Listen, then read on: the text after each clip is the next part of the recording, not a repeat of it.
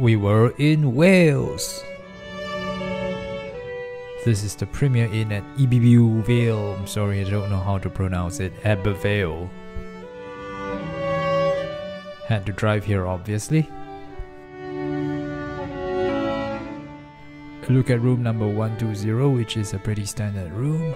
Clean bathroom, towels, bathtub, shower and bathtub together, and a sink and a nice big mirror. And the main room itself, a little side ledge here with a mirror and a hair dryer, always very useful. A little space for your clothes, a side table, lamp, flat screen TV mounted on the wall, a nice double bed, and a like kind of like this couch sofa leaning by the window. Wonderful stuff.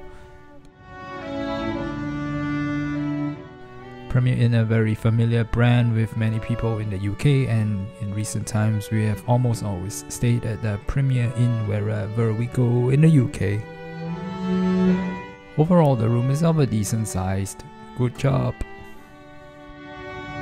Bed was pretty comfortable too.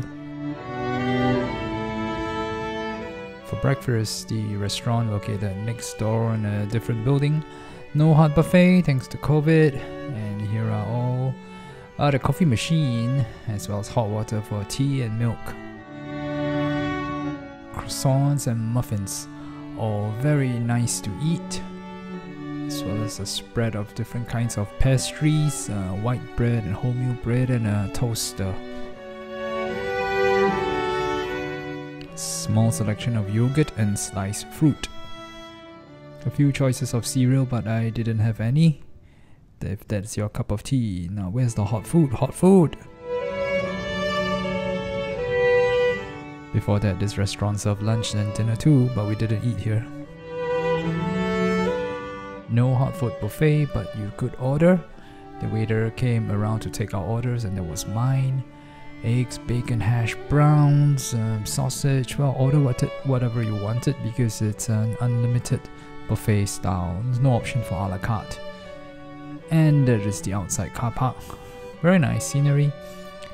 Iberville, EBVU, EBBW Vale, Wales, UK. Bye.